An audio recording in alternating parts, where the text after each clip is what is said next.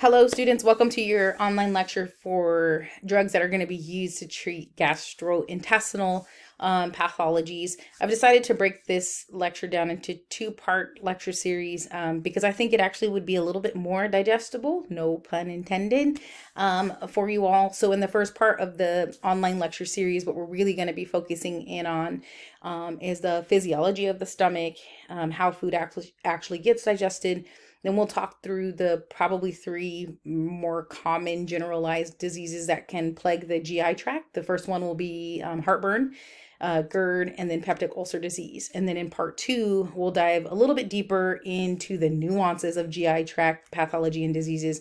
And we'll talk about constipation, um, diarrhea, and then we'll talk about irritable bowel syndrome and um, diseases associated with irritable bowel. Um, so, welcome to part one of our online lecture series. I'm Dr. Cosby. I'm excited to really be talking about probably the number two over the counter drug um, or medicine that is utilized among the athletic population. The first being anti inflammatory drugs, and then the second being um, drugs that are going to be used to, to treat most of the gastrointestinal diseases or disorders that we'll be talking about today. The good news is most of these are relatively harmless diseases and usually pass within 72 hours to two weeks. So that's the good news. So, first things first, let's talk a little bit about how food kind of gets digested. Because if you understand that, then you'll understand the physiology behind um, the stomach and the protective me- mechanisms that are in place for us as we kind of eat. So imagine this, or even if you wanted to, maybe eat something with me. So I'll grab something and I'll eat it, right? Now, as I start to eat, a few things are happening in my mouth. The first thing is my saliva glands are producing saliva, hence the reason I keep pausing as I'm te- teaching. The second thing that happens is I'm using my teeth particularly my molars, to grind the structure, right? Um, to break it down into small, kind of digestible pieces. Mm, and so those two things happen. Saliva gets produced. I start to use my teeth to masticate, right? Now I'm going to this and I'm going to swallow it quickly so that I can finish the rest of this lecture. So as this process happens, as I start to break down the food, as maybe the saliva starts to moisten it or wetten it, um, and I think about like crackers, for example, or bread, where the saliva would break down things a lot more efficiently than actually chewing, or something like you know your steaks or your chicken, right? Um, maybe larger vegetables might not be broken down by saliva, so then they get broken down in the process of mastication, right? So we can see those two things happening.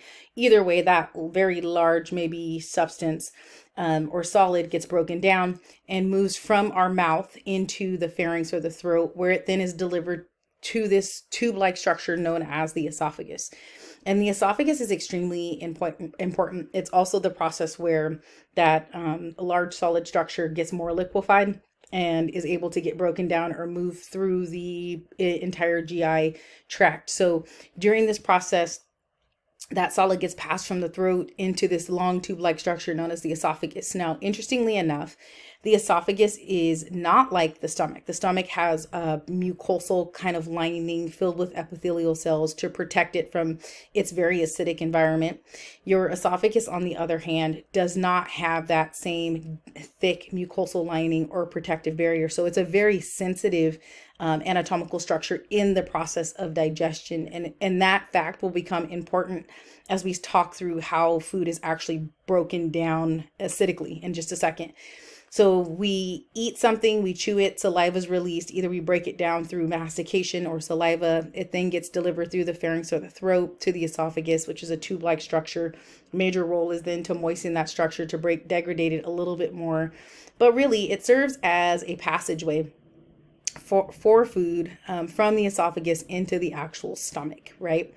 Now, there is this little anatomical structure that lives right here between the esophagus and the stomach. So I'm going to move us over here to the right-hand side of the slide so that you can see something known as the lower esophageal sphincter or less for um, shorter pronunciation. The lower esophageal uh, sphincter, its major role is to stay most often very uh, constricted.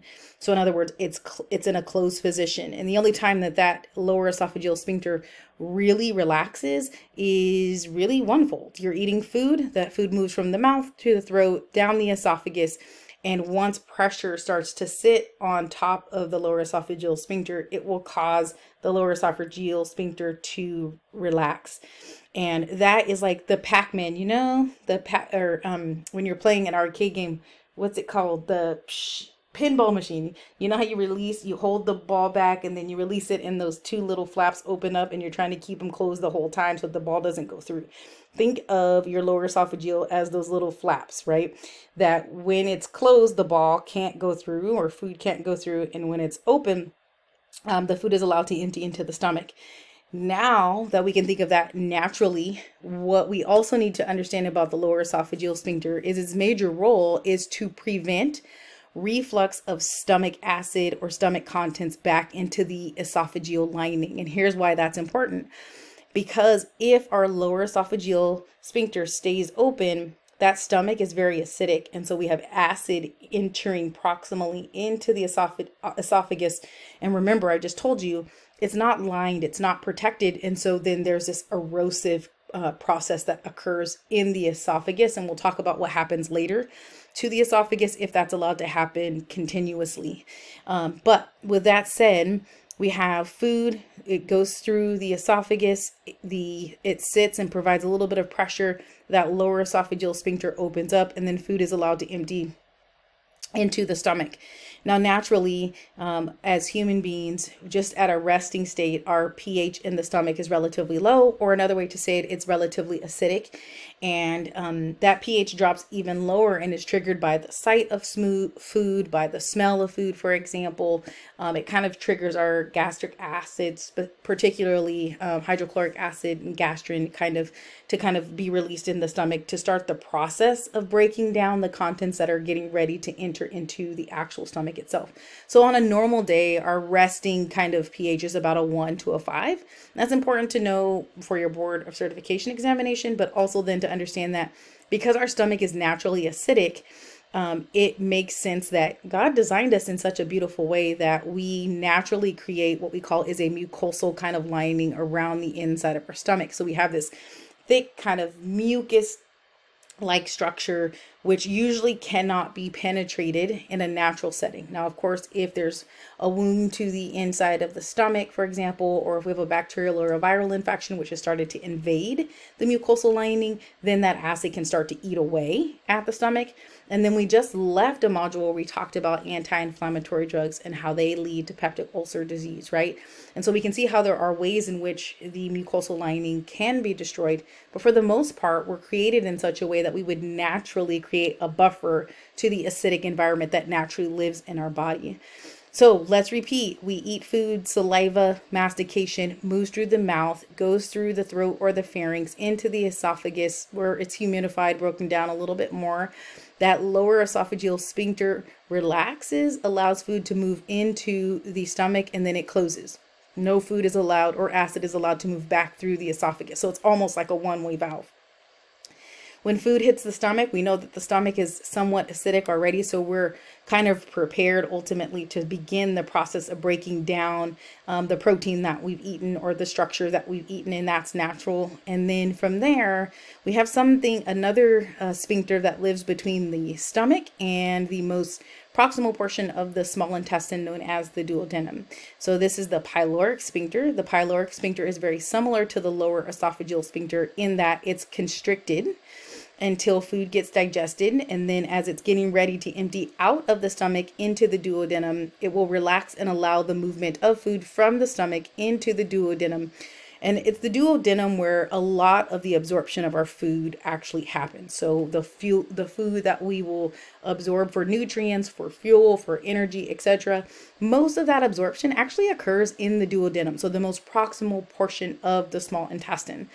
So once the food is absorbed through the small intestine, whatever is left over um, in the duodenum, whatever's left over then will kind of move through the process of motility through the small intestine and then um, up into the large intestine. And then eventually what happens? It gets expelled, right? In the in the way of either urine um, or feces, right? It really just depends on the type of food that we actually ate. And that is the process, the simplified explanation of digestion, right? Now, you all might be wondering, but like, how do we have, how does our stomach remain acidic, right? And so that's what I'm going to talk through next.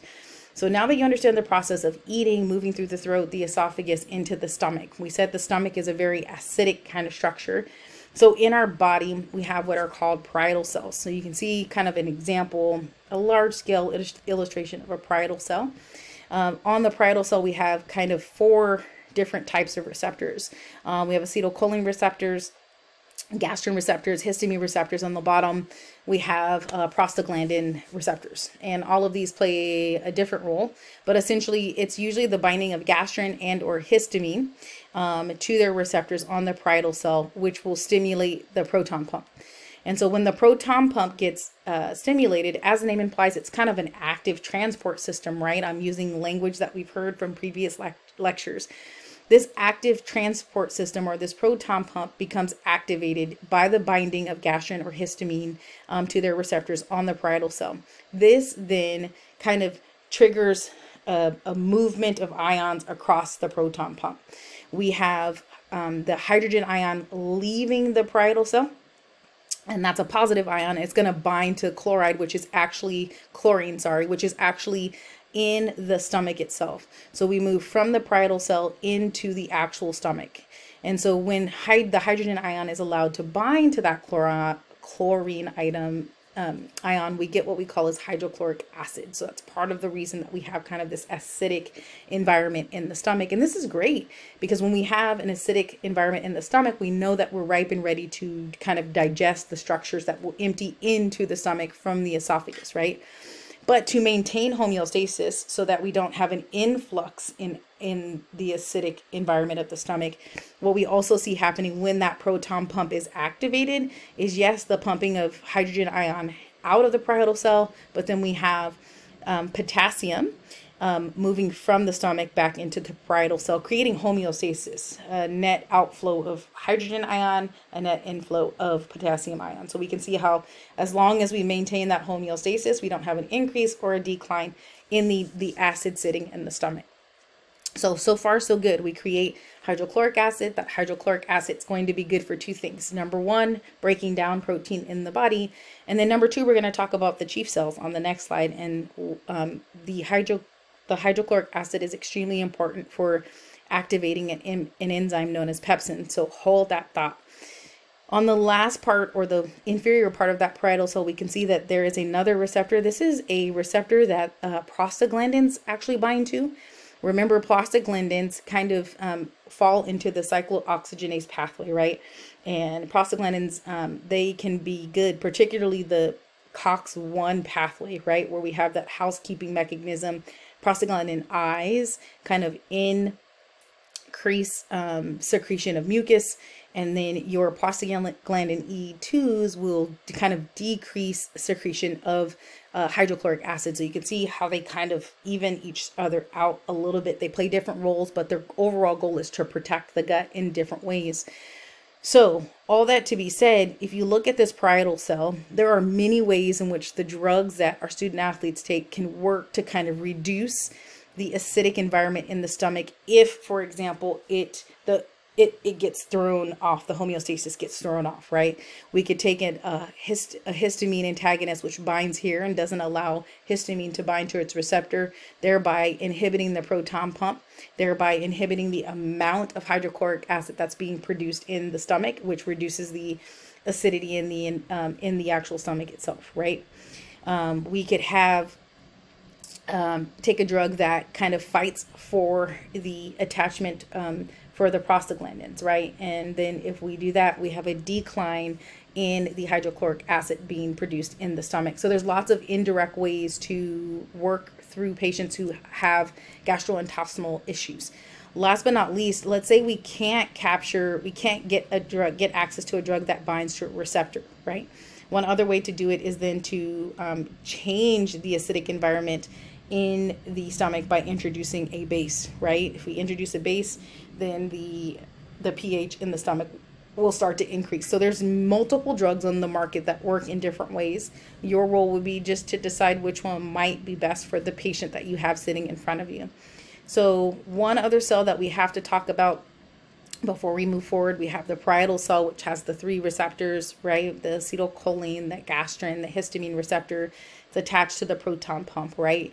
We have um, a good in outflux of hydrogen ion moving out into the stomach. We have potassium ion moving into the parietal cell. In addition to that, we have something called a um, known as a chief cell, and the chief cell is extremely important because it houses what we call as an inactive enzyme known as pepsinogen and that inactive peptide kind of has um, a peptide bond that is in uh, that uh, binds to it that makes it inactive and so when that parietal cell um, stimulates the proton pump to release hydrogen ion to attach to the, the chlorine, um, chloride ion, ion to create hydrochloride, then what we tend to see is that attachment also triggers the release of that kind of inactive form of, of pepsinogen. And now that pepsinogen becomes an active enzyme known as pepsin. And pepsin is extremely important because in addition to the acidic environment, it is an enzyme that will also work to break down particularly dietary protein. So most of the food that we eat, it's going to help come alongside those um, the gastric acid, the stomach acid to break down the proteins, thereby making digestion even more efficient in terms of its process.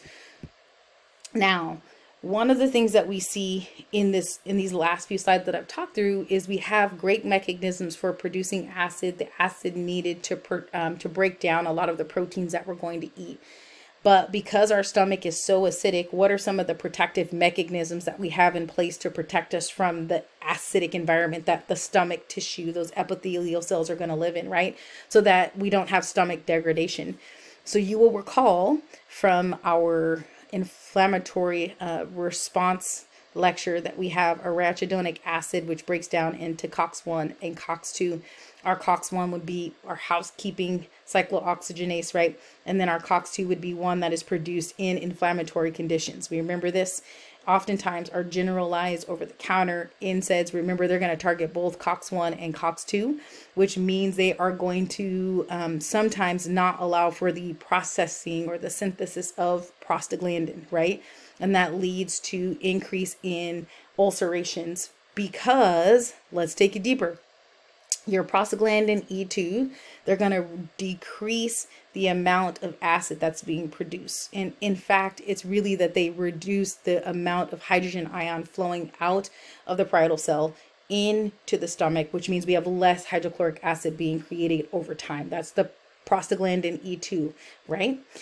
Your prostaglandin I2s, on the other hand, as I mentioned, they're going to increase um, mucosal secretion and kind of create this kind of sticky, lining that protects against any acid that might try to eat away at the epithelial cells. So we can see that we have two protective mechanisms that will get destroyed most often if we use a non-selective, non-steroidal anti-inflammatory drug so we can see that prostaglandin synthesis is extremely important and that we have to be careful when we have patients on NSAIDs that, um, that if they present to us with signs and symptoms of gastrointestinal pathologies that we remove that NSAID and potentially place them on a COX-2.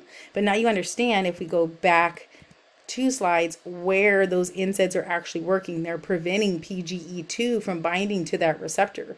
And if they do that, then what we know is they are going to increase, right? Cause an increase in acid being released and possibly degradation of the stomach because that PGE2, if it attaches to the receptor, is responsible for inhibiting the secretion of acid and maintaining kind of homeostasis in the stomach. So hopefully the two lectures are kind of tying together. I hope. So now that you have an understanding of how the stomach works, the parietal cell, the chief cells, um, and the proton pump, let's talk about disorders of the GI tract. And in this particular online lecture, as I mentioned, we're going to talk about heartburn, gastroesophageal reflux disease or GERD, and then we'll talk about peptic ulcer disease, and then we'll move into probably more simplistic forms of gastrointestinal disorder. So heartburn, known as indigestion, um, is going to result from having an inefficient, which one do you think? Pyloric or lower esophageal sphincter? Great it's it's a dysfunction of the lower esophageal sphincter. So I wanted to say that to you all to say this what happens is, remember we eat, it comes down the esophagus and as the food sits there, what is this, what does the lower esophageal sphincter do? it relaxes, right? And it allows the food to move into the stomach. And then what? It constricts again, right? Preventing reflux. In a patient who is experiencing heartburn in some way, either the lower esophageal sphincter relaxes and doesn't close completely, right? So think about those pinball legs. Here's the pinball legs. If they're completely closed, but have you ever done like something like this where the ball kind of sits in the middle of the pins and doesn't sit on top, right? Think of it that way. Think of, okay, I didn't get them closed all the way, but I caught the ball, so it didn't go through the pinball machine, right? This is what I'm talking about when I say an inefficient lower esophageal sphincter. So it may close a little bit, but not all the way. And so what happens is some of that acid, hydrochloric acid, gastric acid, etc., is allowed to move proximally into the esophagus. What did I say was one of the concerns about the esophagus in particular? Yes, you got it, right? What I said was is that it's not protected by a mucosal lining. There aren't any prostaglandins, um, particularly prostaglandin I2s, right? The ones that are producing mucus in the stomach to protect it. There isn't anything in there to protect it. So what happens is, is as that acid is allowed to move proximally, it starts to cause erosion of your esophagus, and that becomes that causes that kind of burning in the center of the chest that the patient um, perceives, or it might be burning in the pharynx or the throat. And that's all because those two anatomical structures are not protected like the stom- stomach is. The stomach is used to being in a, an acidic environment. And so for that reason, we create protective mechanisms. The esophagus and the throat are not. And so they aren't equipped with the same protective mechanisms as our stomach. So that's where heart, how heartburn is be is created. Um, there are other causes for heartburn. Some of them include things we can do nothing about. So I'll give you an example. Increased abdominal pressure is a common cause of heartburn. That can be in obese, overweight patients who carry a lot of their weight in the upper portion of the torso that weight begins to push on the diaphragm, which causes, again, that kind of inefficient sphincter, causes the, the lower esophageal sphincter to stay open instead of closing completely. So some of that acid is allowed to come back up. In pregnant women as well, especially when the fetus is head up, in the abdominal cavity that head pushes up against the lower esophageal sphincter. So those are examples of ways in which increased um, abdominal pressure can cause kind of um, lower esophageal reflux certain foods cause the um, sphincter to release a little bit. So chocolate's going to be an example of that. Alcohol is going to be another example of that.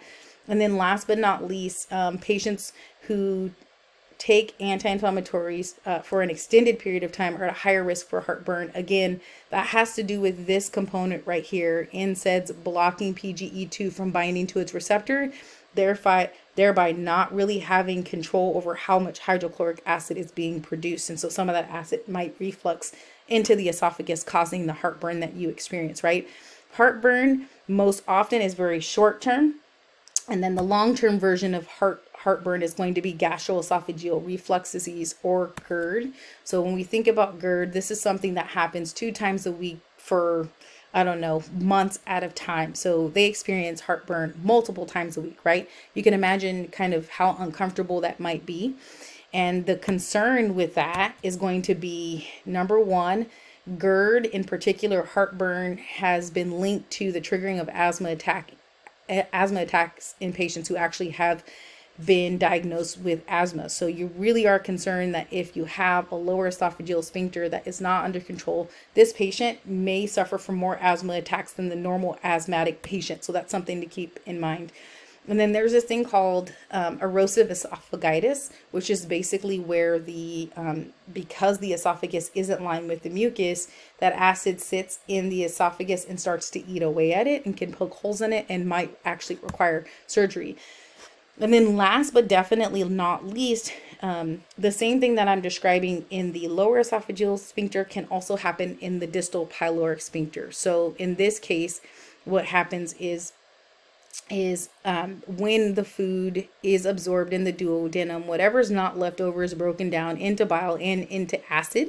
And so that bile and that acid can then reflux back into the lower portion of the stomach, creating in and of itself an inflammatory condition within the stomach as well. Um, so all in all, we're still concerned regardless. Um, gastroesophageal reflux disease um, can be treated just as much as heartburn can, and we're going to talk about the different ways to kind of treat that over the counter. So in terms of drugs that are going to be used to treat our gastro um, reflux, esophageal reflux disease, it's going to be our H2 receptor antagonist, our proton pump inhibitors, are these ringing a bell, and our antacids, right? So let's talk through these. When do we want to use a, a pharmacological treat treatment for patients with GI pathologies? Well, patients who have um, repeated frequent episodes of some type of reflux. So complaining of chest pain or throat pain that makes them very, very uncomfortable. We want to control that, right? So patient who comes into us complaining of multiple times a week of experiencing this, we want to treat it, right? The ideal would be to treat it when it's heartburn so that it doesn't develop into GERD or erosive esophagitis, right? So that's the ultimate goal. In terms of goals for for therapy. We want to reduce the symptoms. Uh, we want to limit the frequency of the uh, reflux that's occurring. The big thing, especially in ero- erosive esophagitis or erosive um, stomach, is that we actually want to make sure that we're also providing providing preventative measures to heal the actual gut itself and prevent the um, complications. One of the worst long term complications associated with GERD and heartburn is actually the development of like esophageal cancer, for example. So we want to make sure that we're treating this and we're not blowing it off. So, last but not least, so we've talked about um, things that would really impact the esophagus. GERD is gastroesophageal, and then heartburn occurs as a result of irritation of the esophagus. Peptic ulcer disease, on the other hand, is um, a disease of the actual stomach itself. So in this case, we have um, damage to the mucosa of the actual stomach or the duodenum. So you have the most proximal portion of the small intestine, the part that's responsible for allowing us to absorb a lot of our nutrients, that becomes compromised. This is different than the other two pathologies, which were more esophageal or upper GI tract pathologies. So there are three kind of categories that it falls into. Ulcers associated with an H. pylori or a bact- bacterial infection. That's how a peptic ulcer can occur, and we're going to break that down a little bit. Ulcers that are caused by NSAID use, which honestly, 80% of patients with peptic ulcer disease at some point in time were um, NSAID users, and then ulcers caused by like some type of hyperacid secretion, right? So let's think about PGE not being able to bind to its receptor, and so their proton pump is working overtime, creating hydrogen ion, hydrogen ions binding to the chloride atom, and we're creating hydrochloric acid over time, right? So those are the three kind of categories in which we'll lump peptic ulcer disease into. Um, but there are other causative factors. So, alcohol abuse has been linked to peptic ulcer disease, particularly reflux of the pyloric sphincter of the bile and acid into the lower portion of the stomach, um, is what alcohol can do. Cigarette smoking has also been uh, linked to creating a more acidic environment. Um, and so, what we want to try to do is on our historical questions, on our PPEs, we want to be asking our patients do they drink alcohol? How often? Do you ever wonder why your physician asks you those things on your physical exam? Well, those are the reasons. What they're really trying to get at is are you at a high risk for peptic ulcer disease? Are you um, at a high risk for like gastritis, for example? These would all be check, check marks, uh, would make, would raise a red flag for a healthcare practitioner. So there are different causative factors. One common causative factor is uh, Helicobacter pylori, which is a normal circulating at bay bacteria in the stomach that actually has mostly protective mechanisms. However, when we have compromise to the actual stomach lining, the Helicobacter pylori can actually, as you can see, is kind of finger-like or worm-like. Its worms usually stay trapped. You can see that in between the mucus, mucosal layer and the epithelial cells of the stomach. However, when acid starts to break through both the mucus layer and the epithelial layer, that bacterial is that bacteria then is allowed to kind of attach to the stomach and create what we call as a bacterial infection. That bacterial infection will start to degrade and eat at the um, the stomach and cause a peptic ulcer disease. So H. pylori can be transmitted many ways, fecal to oral. So um, right, like Cosby, really? But if you're a nanny, for example, it's one of the recommendations to actually wear gloves when you're changing a diaper because even though you may not think you've got fecal matter on your hands, you might go to wipe your your eyes or wipe your face after changing a diaper and you've just transmitted H. pylori, right? can be mouth to mouth. So um, bacterial infections, kissing, for example, would be another example of that. Um, one of the great things about H. pylori, if it's held in check, is it can buffer acid, so it can act almost as a bicarbonate. But when it's allowed to become untrapped between the mucosal and the epithelial layers, that's when it can start to cause degradation to the stomach. So if held in a homeostatic environment, H. pylori can be a good thing. But if we start to see damage to the layers and we start to see a, re a release of the bacteria, it can actually be very, very, very harmful. Okay, next um, for peptic ulcer disease, we already know this. This is NSAIDs. It's number one cause of peptic ulcer diseases in patients between the ages of 18 and 25. So again, going back to this pathway without being too redundant, but letting you know it's it's extremely important for you to understand the in the COX, the cyclooxygenase pathway, right? If we inhibit um, prostaglandin synthesis. Essentially, what we do is we um, reduce the body's ability to, number one, with PGI2s, create or increase mucosal protection around the actual stomach. With our PGEs, we reduce the body's ability to kind of keep the acid at bay or keep the acid in check. So we will uh, inhibit. Uh, we will not be able to inhibit acid secretion. That's the way I want to say it, right? Which means if we reduce both of these, then we reduce our body's natural ability to repair itself, right? If our body is homeostatic, we have these natural items built in, right? The PGIs, they're going to increase secretion of mu mucus. Your PGEs, if they're allowed to bind to that receptor, they will inhibit acid secretion, right? So let's think about it this way naturally. I eat and I know that my body's going to produce acid, right? Like whether that's proton pump pumping and pushing hydrogen ion out into the stomach to create hydrochloric acid. I'm going to produce acid to break down um, the, the food that I eat, right? Naturally, what happens is number one, when we eat, we're also going to increase or uh, the mucosal lining because we know that there's going to be an increase in acid secretion, right? But the other protective mechanism is that PGE at some point in time will say, you know what, that's enough. We don't need any more acid. The food is emptied from the stomach. Let me attach to my receptor. Let me inhibit acid secretion. So we have to have this kind of stop, start, stop, start, stop, start. That's where your PGIs and your PGEs come in. So if our NSAID is blocking that ability, then we see that we don't have the protective mucosal lining or we don't inhibit acid secretion. And so then we start to develop kind of sores on the the esophagus. I'm sorry on the stomach. So most common type of peptic ulcer disease we'll see if it's not h. pylori right? Okay.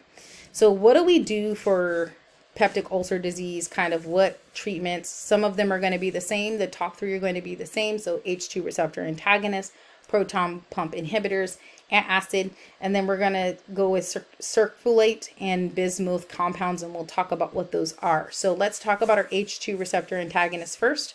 Think about it this way. Here's our parietal cell. Here are our receptors. If we take an H2 receptor antagonist, Pepcid AC, Tagamet, Zantac, Axid AR, any of those over-the-counter medications, what we're saying is we're going to prevent histamine from binding to its receptor. It's going to, it's an antagonist. It means it's going to compete for the same receptor site as histamine, right? So if we take an H2 antagonist, it's going to block histamine's ability to bind to its receptor, which means what for the proton pump? It's going to block the ability of the proton pump to do what? Push out as much hydrogen ion as it normally would into the stomach, which means we have less hydrochloric acid being produced, which ultimately means we have um, a, a more basic environment for the stomach, right? Are we seeing that? Hopefully we are. Okay, some of the most common H2 receptor antagonists that you all might know um, are going to be Tagamet, yes, Pepcid, um, and Zantac. Those two, two or three are the most commonly over-the-counter um, used H, um, H2 receptor antagonists. What they do is block the production of gastric acid by inhibiting histamine from being released. So let's go back here. They're going to inhibit histamine from binding to that receptor and indirectly by doing that what do we do there? We slow down the proton pump essentially, right? Everybody see that? We slow down the proton pump, not enough hydro hydrogen ions being moved out, and so we can't have the binding of H to Cl, and so we don't have the production of hydrochloric acid. Now, of course, if if you're asking me, oh, Dr. Cosby, what do I need to know? You need to know that that um, on a multiple choice question, which of these is an H2 receptor antagonist? And so you should be able to say Tagamet, Pepcid, and Zantac. Those are the top three, right? Now, in terms of dosing, do you need to know that? No. The reality is, one of the things that I want you to see is that dosing goes up um, based on the severity. Heartburn is the least severe of the three pathologies that we just talked about.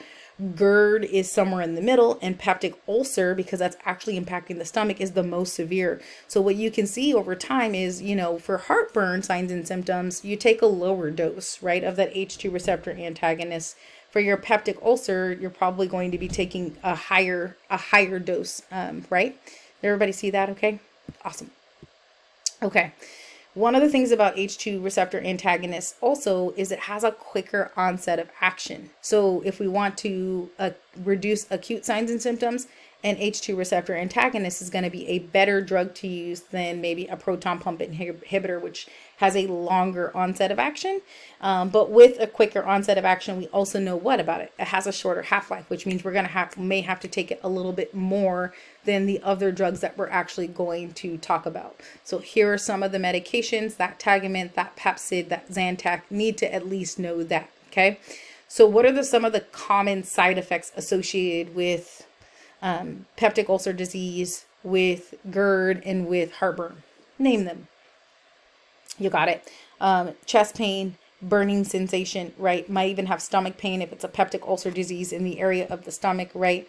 Um, and big key side effects associated with H2 receptor antagonists, nausea and diarrhea, right? Very rare, but those are the most common adverse side effects. All right, the next category of drug drugs are going to be your proton pump inhibitors. As the name implies, if you take a proton pump inhibitor, it's going to act directly on the proton pump, right? So histamine or gastrin or acetylcholine can still bind to the receptors, right? They're going to trigger the proton pump to start pumping, but the proton pump inhibitor is going to block the proton pump from moving hydrogen ions into the actual stomach. Uh, most common proton pump inhibitors are going to be Prilosec, Prevacid, and Nexium. And so let's talk through this just a little bit. Your proton pump inhibitors, they're going to inhibit gastric secretion by blocking the proton pump um, itself. So it's going to prevent that kind of active transport system from moving hydrogen ion into the actual stomach.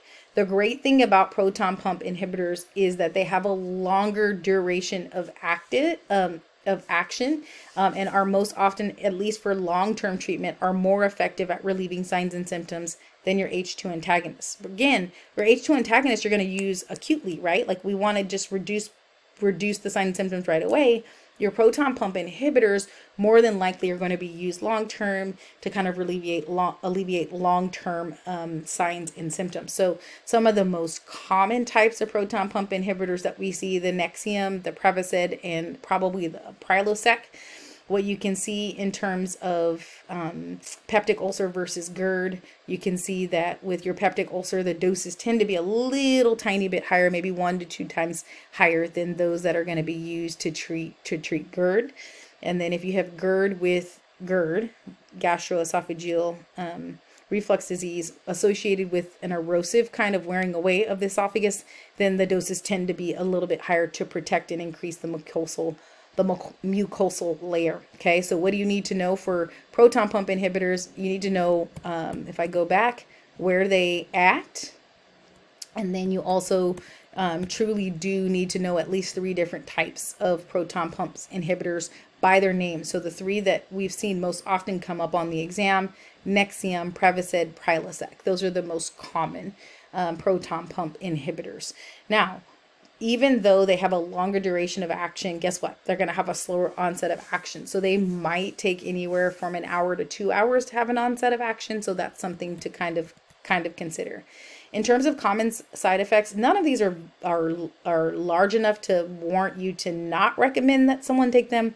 But a patient who takes a proton pump inhibitor might suffer from nause nauseousness, diarrhea, and again, similar to your um, histamine antagonist. Your antacids, by far the most common over-the-counter drug that would be used if we were looking at that parietal cell it's at the end of the parietal cell. So we're not blocking the receptor, we're not blocking the proton pump, we're just trying to change the acidic environment to a more basic environment. So most commonly used antacid is by far going to be Tums or Alka-Seltzer, for example. So your antacids neutralize the stomach acid by buffering it and then they increase the stomach's pH, right? Making it more more basic. But they have zero effect on acid production, unlike your proton pump inhibitors or your H2 antagonists, which can absolutely impact acid production, right? The great thing about most antacids is their rapid onset, probably like we're talking 10 to 15 minutes, so even better than the H2 antagonist, but again, short duration.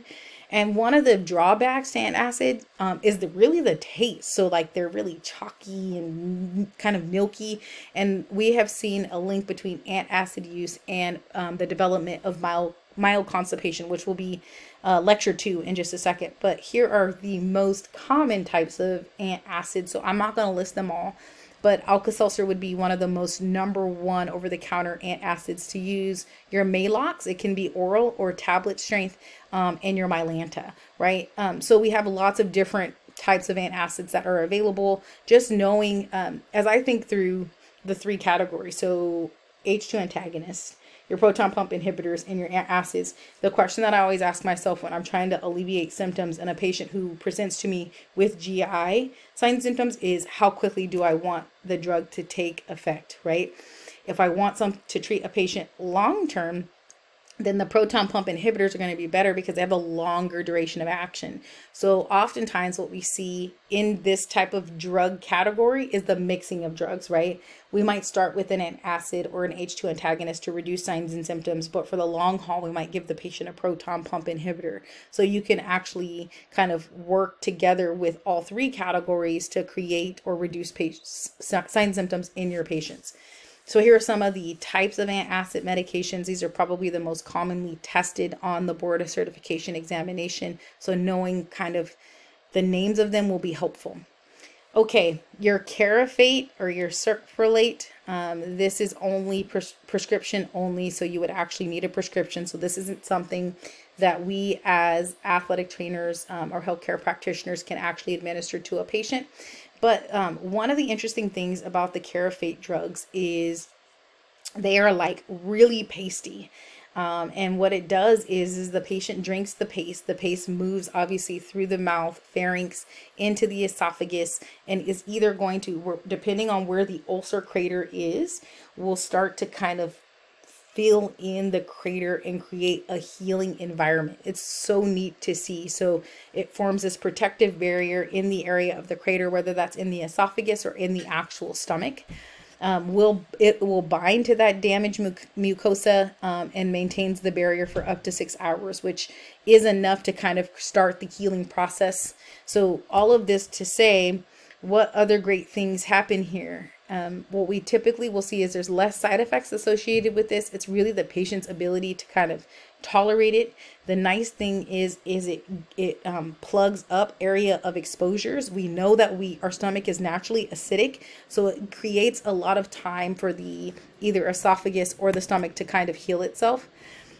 The other neat thing that we see is that it inhibits pepsin. Remember, pepsinogen is the inactive enzyme and the inactive enzyme gets gets um, changed into the active enzyme pepsin when high when we have an increase in hydrochloric acid right? So this is an indirect way to reduce pepsin.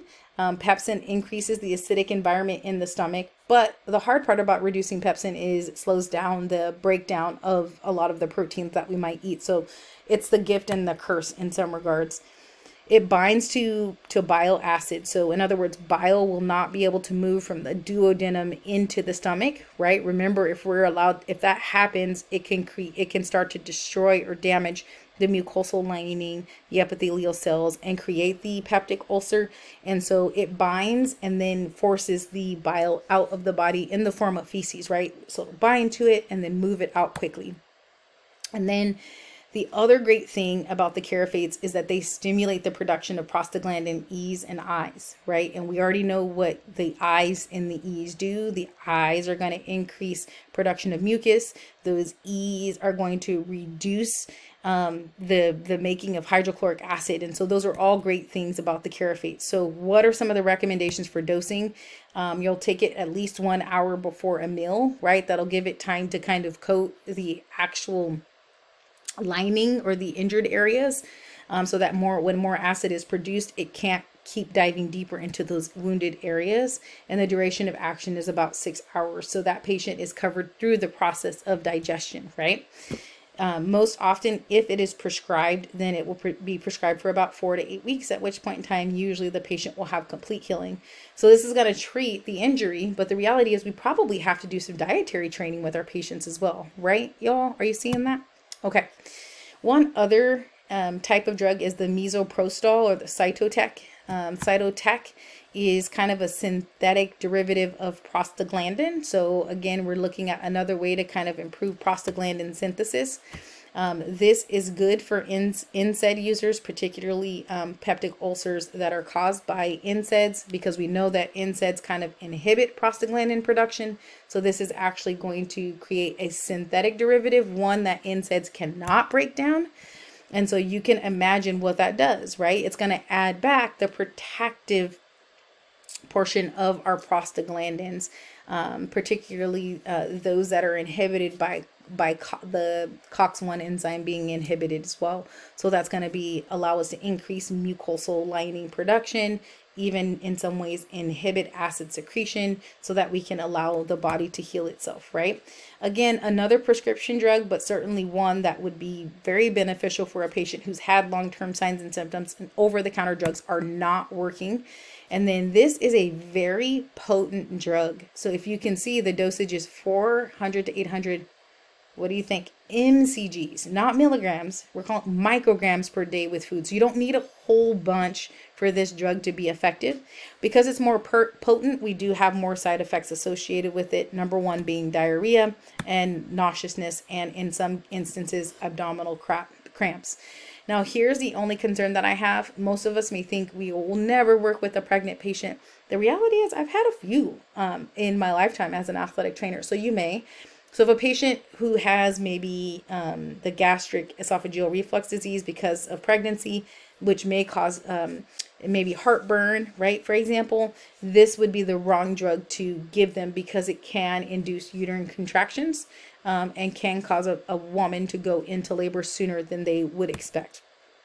So Here's bis the bismuth compounds. Um, you all know this as Pepto-Bismol, right? Um, unfortunately, the exact mechanism in which Pepto-Bismol works is um, uncertain, but here are a few theories. I like to equate them to kind of that thick coating that we drink that goes into the craters and starts to kind of plug those craters. So almost a gastroprotective effect. Um, in addition to that, it has been linked to kind of stimulating um, the endogenous prostaglandins that may have been inhibited by the use of NSAIDs. And then one of the other things that it has is an antibacterial effect. So it actually suppresses um, H. pylori infected infection. So those peptic ulcer diseases, um, disorders that are caused by the H. pylori infection, it has been linked to improvements in those particular patients. And so you certainly can do over the counter. And then there's obviously a stronger dose, which can be given at prescription strength. One thing to note, and I found this out clinically and I had no idea, is that one of the compounds in Pepto-Bismol, especially if they're taking the tablets form, um, when you chew it will sometimes turn the back of the tongue black. So you want to make sure that you just educate your patients on that so that they don't panic when they take um, the tablet form of the Pepto-Bismol. Um, so that concludes all of the drug categories that we would use to treat someone with either heartburn, gastroesophageal reflux disease, and or peptic ulcer disease. I hope you've learned a lot and I hope that you understand that most of these categories and the categories we're getting ready to talk about sometimes have to do with dietary management. And you'll get into that in in nutrition what what things can we do to adjust diet um, and a lot of these can be also um, co- uh, covered uh, for lack of better words or treated with over the counter medications it just becomes you understanding do we want a shorter acting uh, medication? Do we want a longer acting medication? What what's the goal of the therapy for this particular patient? Hope you've learned a lot. See you in the next lecture